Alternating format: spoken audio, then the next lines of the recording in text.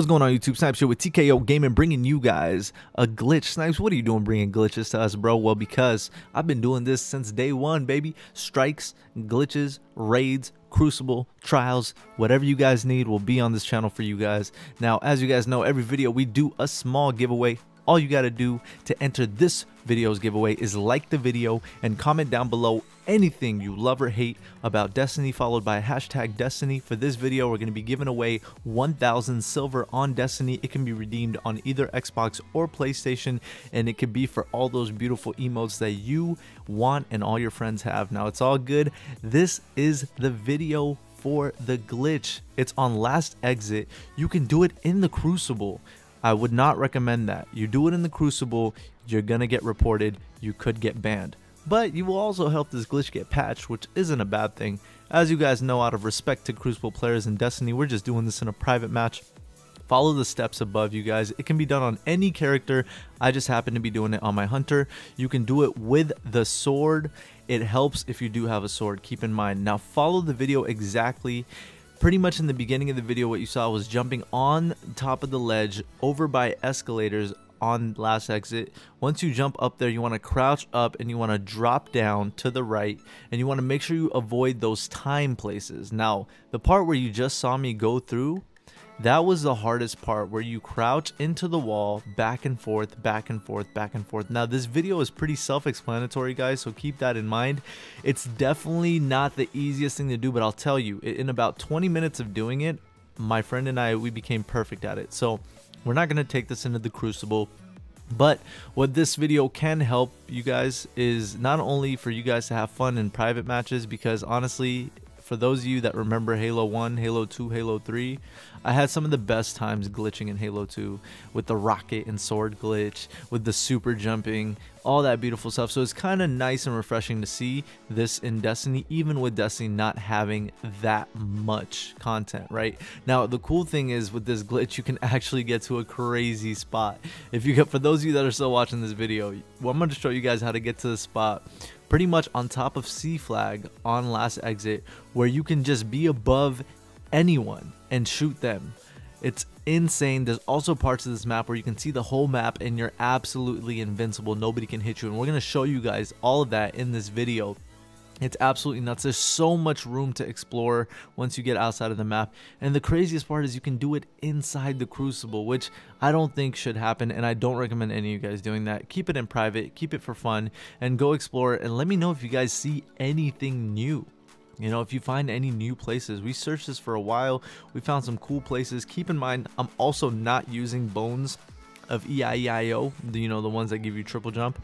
I'm just using regular double jump on a hunter. You can do this on a warlock and titan as I stated before. I did have a little help there with my melee with the sword though. So you guys can see the most important thing is you want to stay away from areas where they have that timer, you know, that 4, 3, 2, 1. It is the scariest thing, but it's so cool to look around. Look, you can see the whole map. You can see the whole map. You can't shoot through the barrier and the other people can't shoot you, but you can see the whole map. You know how crazy it would be? Imagine this. You're in the Crucible and all of a sudden you have this whole team not on the map and it's like clash or control and you're like what the hell? Where the hell is the other team? And they can all see you but you can't see them. That's some freaky shit.